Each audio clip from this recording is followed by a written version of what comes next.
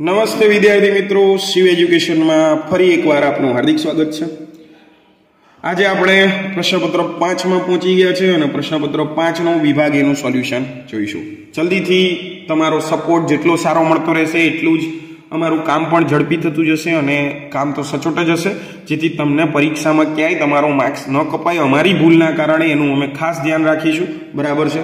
જો છતાં પણ તમને કોઈ પેપરમાં કોઈ પ્રશ્નમાં ડાઉટ જણાય છે અથવા તો કંઈક ખોટું લાગે છે, તો તમે ડિસ્ક્રિપ્શનમાં કમેન્ટ કરીને, અરે કમેન્ટ બોક્સમાં જઈ અને કમેન્ટ કરીને જણાવી શકો છો. જેથી અમે ભૂલને સુધારી શકીએ અને વીડિયો જોનારા બધા જ વિદ્યાર્થીઓનો એકાદ માર્ક્સ બચી જાય તો એ બચાવી શકીએ. બરાબર છે? ચાલો. કેલ્શિયમ કાર્બોનેટને ગરમ કરવાથી થતી પ્રક્રિયા કઈ છે? તો મિત્રો, આની અંદર જવાબ આવશે વિઘટન પ્રક્રિયા. હવે આપણે સમીકરણ લખીએ તો ખબર પડે. Calcium carbonate CA CO three ગરમ કરીશું સીએઓ વત્તા CO2 છૂટું પડશે. બરાબર? તો અહીંયા પ્રક્રિયક એક છે. નિપજ એકથી વધારે છે. બરાબર? પ્રક્રિયક કેટલો છે? એક. તો આ પ્રક્રિયાને કઈ પ્રક્રિયા કહેવાય? વિઘટન પ્રક્રિયા કહેવાય.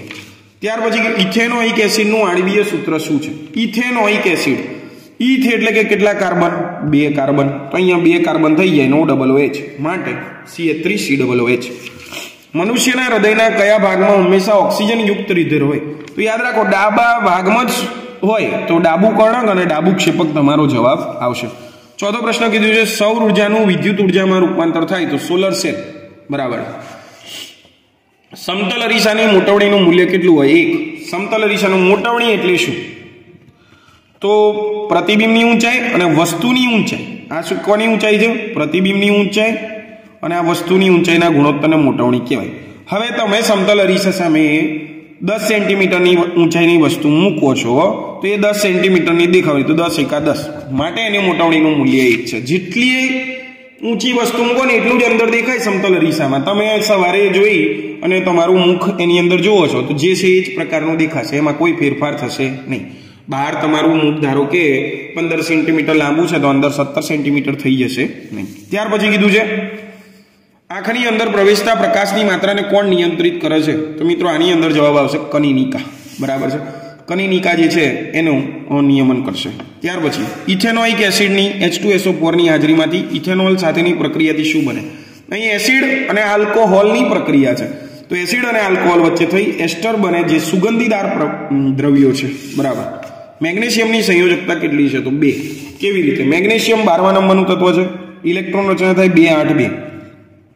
બહારની કક્ષામાં બે ઇલેક્ટ્રોન છે. હવે યાદ રાખો, સંયોજકતા નક્કી કરવી છે.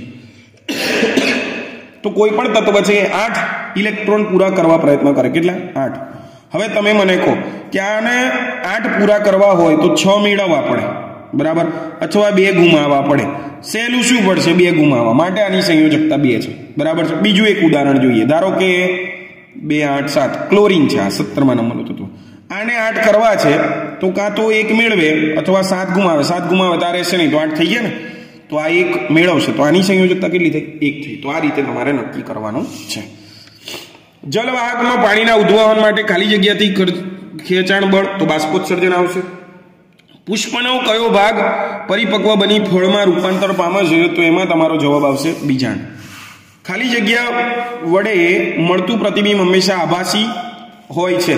તો એની અંદર તમારો જવાબ આવશે મિત્રો અંતરગોળ લેન્સ અંતરગોળ લેન્સથી જે બે પ્રતિબિંબ એક અનંત અંતરે મૂકીએ છીએ અને એક અરીસાથી થોડે દૂર મૂકીએ છીએ તો બંને કિસ્સામાં આપણને જે પ્રતિબિંબ મળે છે એ આભાસી મળે છે. બરાબર? સૌર કુકર માટે ખાલી જગ્યા અરીસો સૌથી વધારે હિતાવ છે તો અંતરગોળ અરીસો આવશે.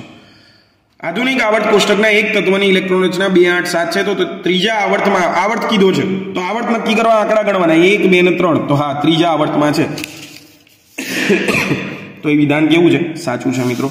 ચૌદમો પ્રશ્ન, મનુષ્યમાં ફલન થાય ત્યારે જ લિંગ નિશ્ચય થઈ જાય. સાચી વાત છે, કારણ કે ફલન થશે એ જ વખતે ખબર પડી જશે કે પુરુષમાંથી કયું રંગસૂત્ર પ્રાપ્ત થયું છે. એના આધારે નક્કી થઈ શકશે. કે ભાઈ નર હશે કે માદા તો સાચું વિધાન છે.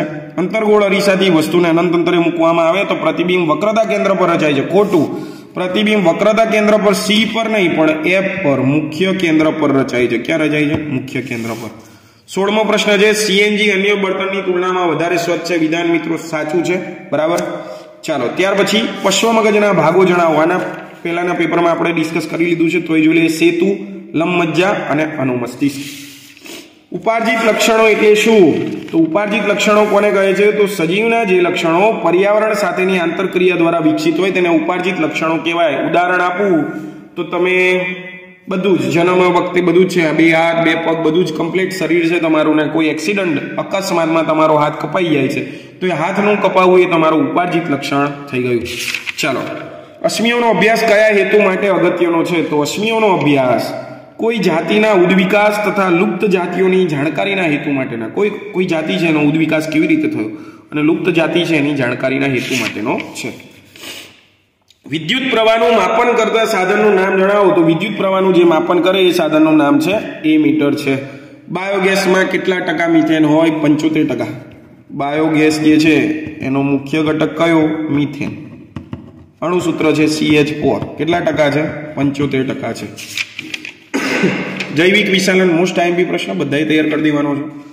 તો આહાર શૃંખલામાં વિવિધ પોષક સ્તરે અજૈવિક ઘટકોનું સંકેન્દ્રણ વધે એ ઘટનાને જૈવિક વિશાલન કહે છે. ત્રેવીસમો પ્રશ્ન જોઈએ. જલ સંગ્રહણનો હેતુ શું છે? જલ શા માટે સંગ્રહવું? તો સિંચાઈ માટે પૂરું પાણી પાણી પૂરું પાડી શકાય. ભૂમિગત જળમાં વધારો થઈ શકે.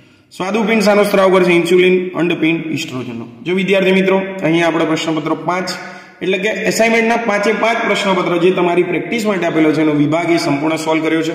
આશા રાખું છું કે વીડિયો તમને ગમ્યો હશે. જો વીડિયો ગમ્યો હોય, તો અમારી ચેનલ શિવ એજ્યુકેશનને જલ્દીથી સબસ્ક્રાઇબ કરી લો અને તમારા બધા જ વિદ્યાર્થી મિત્રો સાથે શેર કરો, જેથી વીડિયો વધારે ને વધારે લોકો સુધી પહોંચી શકે. Thank you